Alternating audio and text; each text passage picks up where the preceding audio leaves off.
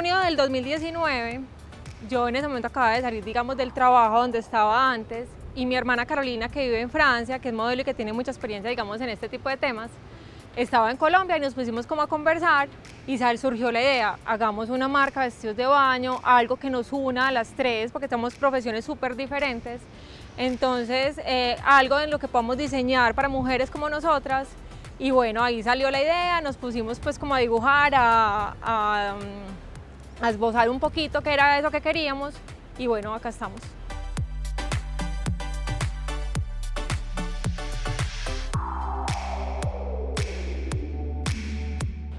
Resulta que cuando empezamos con los vestidos de baño llegó la pandemia.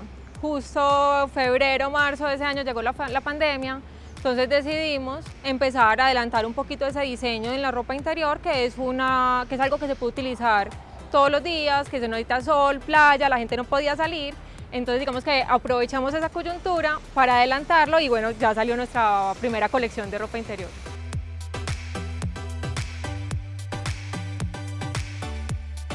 En nuestra colección de ropa interior decidimos hacer algo que fuera muy delicado, funcional, que se pudiera utilizar todos los días, pero que tuviera ese toque romántico que se lo dan los, encajes. Eh, nuestros brasieres, por ejemplo, los bralets no tienen copa, tienen un tema de comodidad para que también como que se pueda adaptar al cuerpo de cada persona.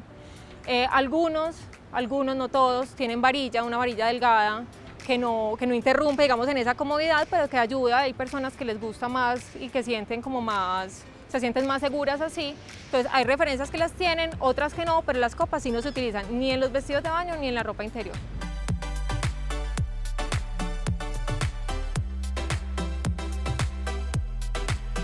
Compra hecha en Medellín a mí me ha parecido una, una plataforma increíble.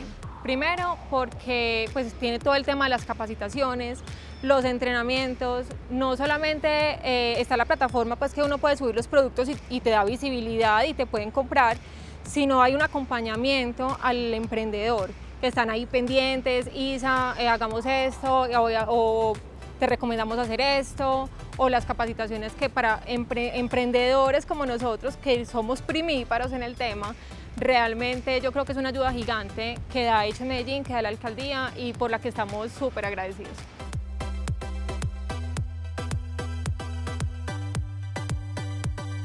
A mí me parece súper importante apoyar el talento local, no solo porque tú impactas en la economía de ese emprendimiento y de esa persona, sino porque es que detrás de este emprendimiento hay una cantidad de personas que son invisibles para el consumidor final. Están los que hacen las telas, los que fabrican, los que cosen, el mensajero que envía nuestros productos, el que nos hace la publicidad en Instagram. O sea, hay una cantidad de personas que uno a veces ni se alcanza a imaginar que sean tantas, que si a ese emprendedor le va bien, la cadena se va yendo.